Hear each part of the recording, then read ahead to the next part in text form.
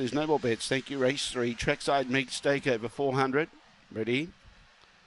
Away. Dark Origins began okay, but Lush Life showed more speed, and burning across was Call Me Crazy to clear them. Now, Dark Origin starting to chase out after it. Behind those was Serendipity Girl. Between runners, Hopkins, then Lush Life. Uh, the others are well back. Sienna Rose and Sketchy Kathy trying to get up on the inside. Dark Origins challenging the kennel mate. Call Me Crazy. Down the outside is uh, Serendipity Girl, but Dark Origins beats Call Me Crazy. Serendipity Girl. Lush Life was fourth. Then in turn behind those we had Hopsing, Sienna Rose and Sketchy Kathy never looked any chance at all at the tail end of the field, the time around 23.60.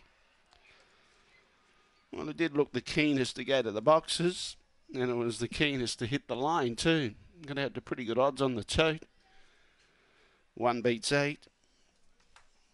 One beats eight. Got out to five dollars on the fixed market Dark Origins one eight six, eight dollars twenty and two forty for your ticket each way on the tote.